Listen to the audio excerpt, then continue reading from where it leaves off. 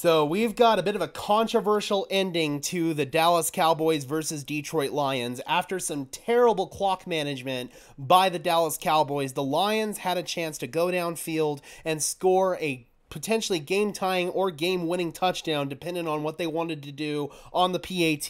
They decided to go for two here to win the game. You know, Dan Campbell's going to be aggressive, and they're going to try a trick play here where they're going to throw the ball to the left tackle Taylor Decker off play action. The Lions also have another extra offensive lineman in the game in Dan Skipper, number 70. He's right here, and then the right tackle Penei Sewell is actually way over here. So it's a very interesting formation formation by the Detroit Lions. You'll see that they're going to fake it right here to David Montgomery and then throw it back of the end zone to Taylor Decker for the potential go ahead two point conversion.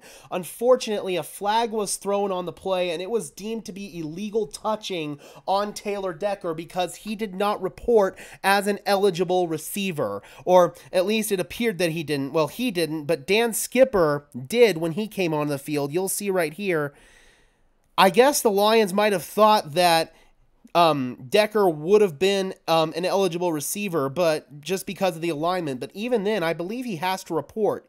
You'll see right there that Decker, number 68, along with Penei Sewell, the right tackle, the one in the long sleeves, they're both talking to Brad Allen, and I think they're asking him if they have to report as an eligible receiver. And Allen says they're good, it seems, because they take their position and ultimately, they end up throwing a flag on it. So, at the end of the day, it's just poor situational awareness by the Detroit Lions.